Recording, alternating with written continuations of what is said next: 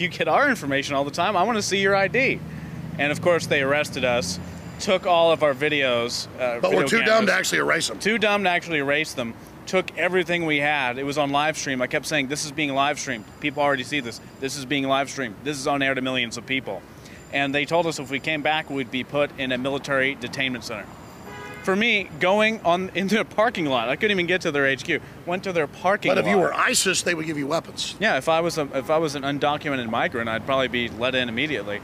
But the whole point is, we The point do is, the- these people are taking down America. exactly we do these stupid, silly things takeover. to We're- make a point. We're an open, free society. They are just carving us up, and we're just here showing what a joke it is. Exactly. We're just here desperately trying to get people to become aware of: Are we land of the chumps, home of the schmucks, or are we land of the free, home of the brave? Anthony. Exactly. It's, it's a it's a stunt to show what they're doing in a more abrupt way, where this actually happens in a way that you can see it.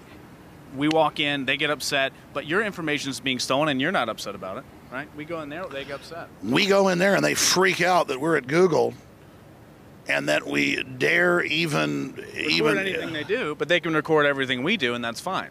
Just like the NSA guys, I ask for their ID, they think I'm insane, but they have everything on me that I've ever done in my. Life. We have random life. folks walking by. Sir, do you have a comment? Google has announced they're watching and listening to you over your microphones and camera. Is it the politically correct thing to do to submit to the viewing, and but say it's not happening because in a free country they're not watching you, even though they admit they are? Is that the proper mode? Uh, I, I don't have a comment. Not right now. It's just best to submit to the machine takeover. I, I agree with you. Yeah. I agree. I agree. I'm tired. it's been a long day. Should humans all just commit suicide in mass? No, definitely not. Eat tacos and go to bed. I believe in progress. I think we're progressing. We are. Well, the IQs are dropping, and the brainwaves are dropping, and the neural tissue is rotting. So we're not I progressing think according. it's three steps forward and two steps back. But I think generally things are progressing. And the people running things, they love us.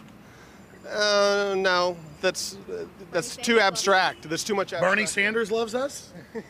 Old Bernie said China has really great uh, babies' rights, uh, infant rights. Yeah. Okay. Do, do you agree with that? I, I've made my statement, and that is all I'm going to say. just Bernie Sanders is great, but don't back up with Bernie Sanders up. There's never going to be. What, what about China, like killing 50 million girls, and even including after they're born? You don't even know about that? See, she doesn't know. That's a shield against that. And, and so Bernie Sanders is great, and China has the model. Time to go. Hey, bye. Alex. Bye. Hey, see you, take care, man. Take care. Be safe. See, it's all funny. Bernie Sanders is going to save us, but China has got great stuff for babies. And then, like, kind of videotape, like you videotape us, we videotape you, like we're intimidated by that. We go up against the New World Order. But see how they've instilled a love of destruction, a love of enslavement in these people? well, there you go, ladies and gentlemen. Alex Jones inside Google simply saying, hey, you watch us, we watch you. And we're going to recommend Info Warriors in the next few weeks come down here by the thousands and come in with your phones and do live reports surveilling them. They won't be able to stop the signal. Shane Steiner's involvement with InfoWarsLife.com truly happened in an organic way. I went to high school with Shane, his brother, knew his parents well, and he was visiting the office once, hadn't been to the office in years, and said, Wow, I notice you're making and selling supplements. Do these really work? Because I've tried a lot of supplements as a, uh workout enthusiast, and I really think most of them are hype. And I said, Here, take some home, try it. Well, a few weeks later, he came in blown away and said, I want to buy three boxes of this stuff to give my friends and family. It's simply amazing. He said, Why does it work so well? And I said, Listen, go to InfoWarsLife.com, watch the informational videos with Dr. Group and others. They understand how it all works. I know that it works for me. That's all I understand. The science, the facts, the research, people's testimonials, they're all on InfoWarsLife.com. You can check it out for yourself. I wanted to go to the gym. I wanted to push myself and work out harder. And that led to me being able to come out and do stuff like the barefooting and the surfing and stuff like that, which what I've never done. I, I never would have done that uh, two years ago. Shane has said over and over again more than just libido and energy, it made him want to get into the gym more. It made him want to get in better shape. And believe me, the Steiners have amazing genetics. Uh, his brother is a world champion steer wrestler. His dad, Bobby Steiner, is a famous world champion bull rider. They've got natural genetics. But when you added this to the mix, in Shane's own words, it took him to the next level.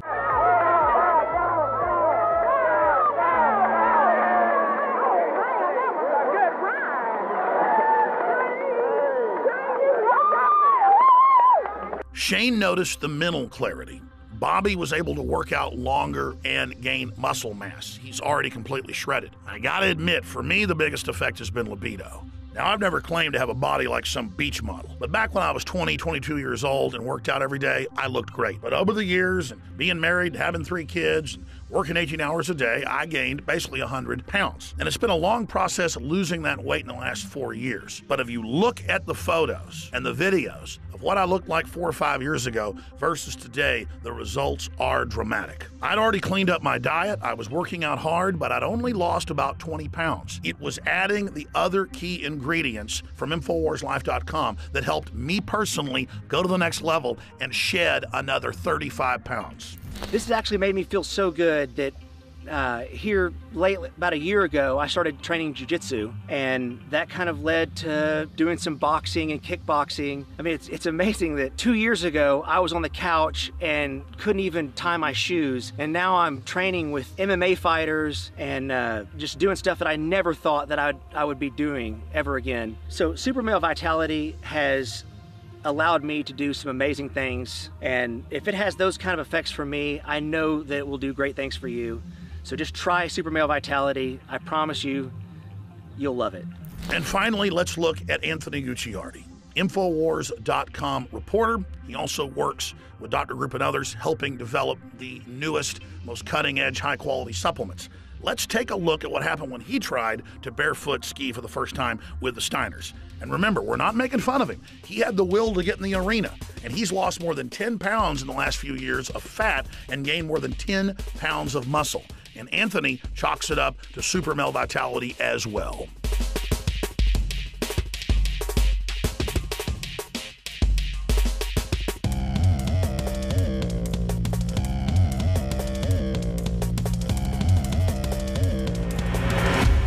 Bottom line, folks, you want to discover the power of super male vitality and super female vitality for yourself by visiting InfoWarsLife.com today or by calling toll free 888 253 3139.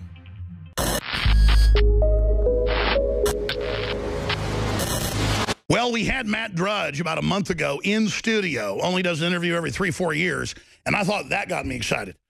But I'm telling you, Donald Trump is our guest, ladies and gentlemen, for the next 30 minutes or so. And obviously, he is a maverick.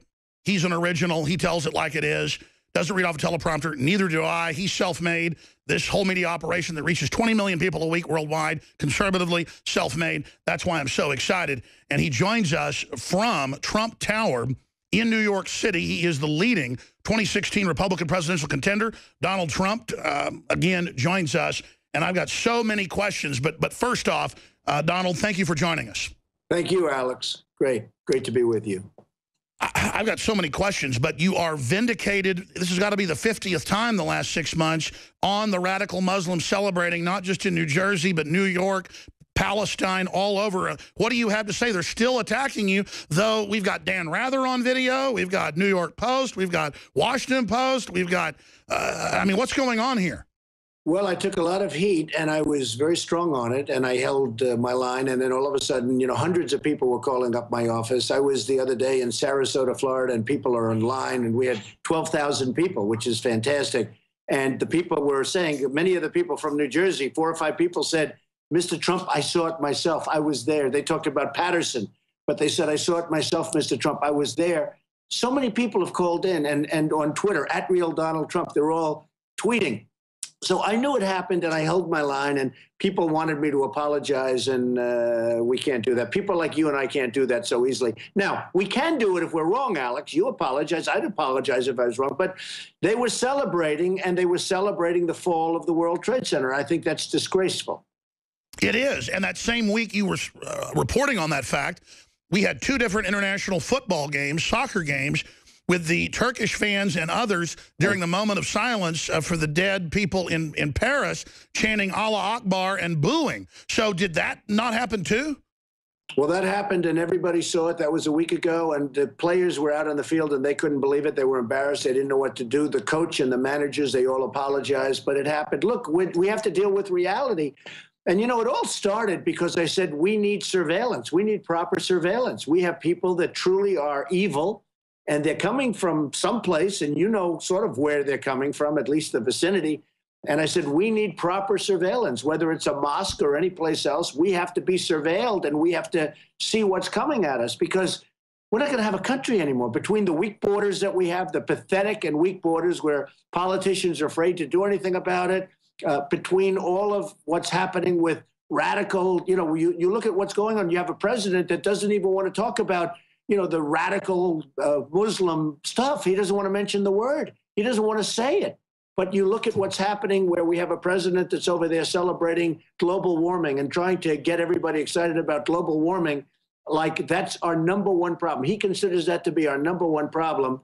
And our number one problem is what's going on where they want to blow up our cities and they want to blow up our country. That's our number one problem. Uh, it's now in mainstream news, Associated Press and others are reporting that it's a secret deal with Turkey, with the Germans, with Merkel, the, the admitted socialist, to bring in millions of radical Islamists. They admit almost all of them are Sunni that basically invaded Syria. They're getting their butt kicked by the Russians, so now they want to flee up through the north into Turkey.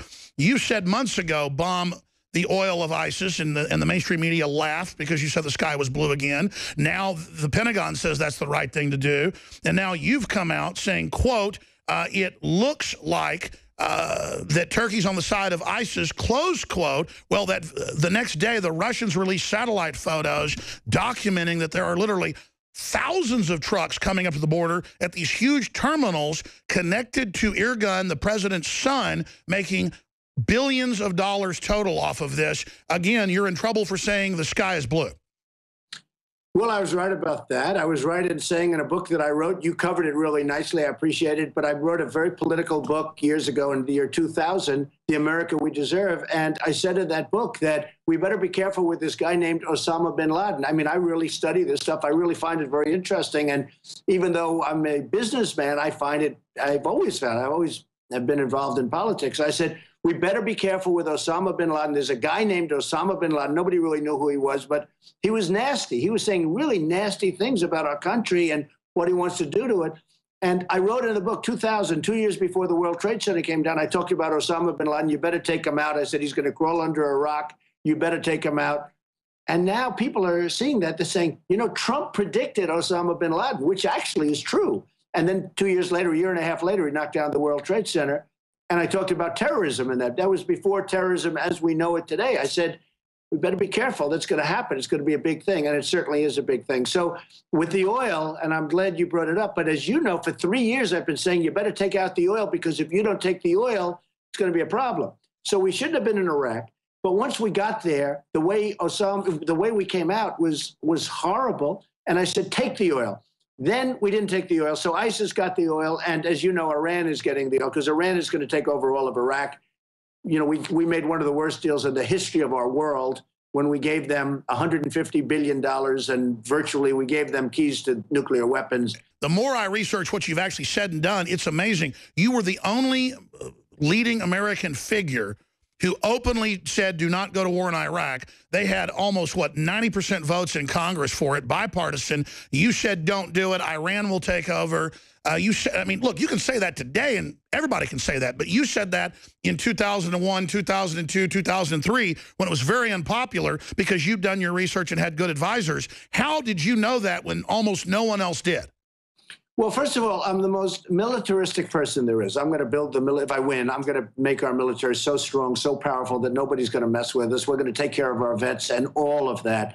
But I have to tell you, you have to know if you're going to go to war, you have to do it properly and you have to know what to do. I viewed it as this Iran and Iraq were the same in terms of strength.